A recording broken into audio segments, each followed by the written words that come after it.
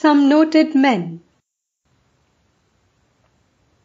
Sri Ramakrishna also became acquainted with a number of people whose scholarship or wealth entitled them everywhere to respect.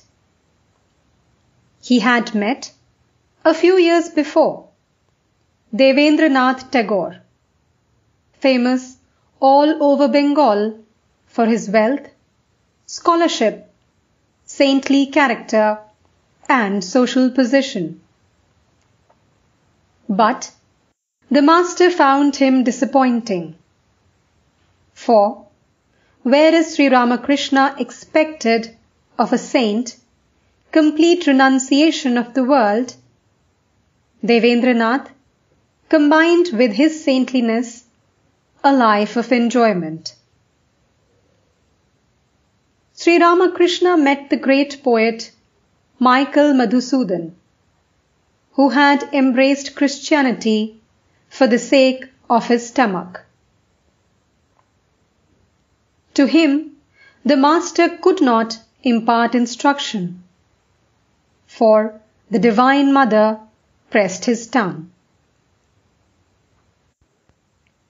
In addition, he met Maharaja Jatindra Mohan Tagore, a titled aristocrat of Bengal. Kristodas Pal, the editor, social reformer, and patriot. Ishwar Vidyasagar, the noted philanthropist and educator. Pandit Shashadhar, a great champion of Hindu orthodoxy. Ashwini Kumar Datta, a headmaster, moralist, and leader of Indian nationalism.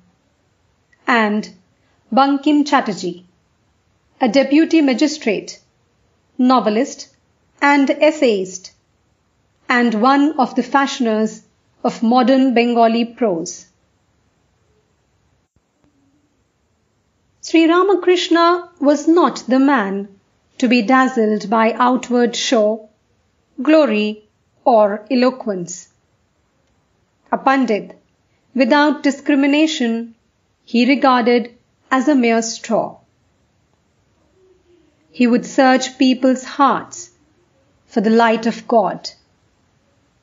And if that was missing, he would have nothing to do with them.